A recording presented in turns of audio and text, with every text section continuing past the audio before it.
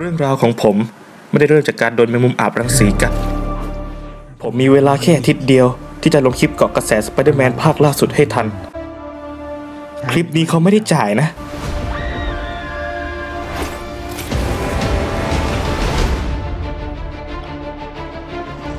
นี่นายจะทำให้ทุกคนลืมว่านายคือสไปเดอร์แมน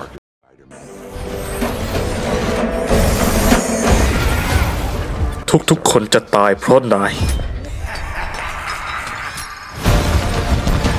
ทุกจักรวาลปั่นป่วน เพราะเรื่องที่นายต้องการ ปีเตอร์ นายกำลังตกที่นั่งลำบาก Hello, Peter.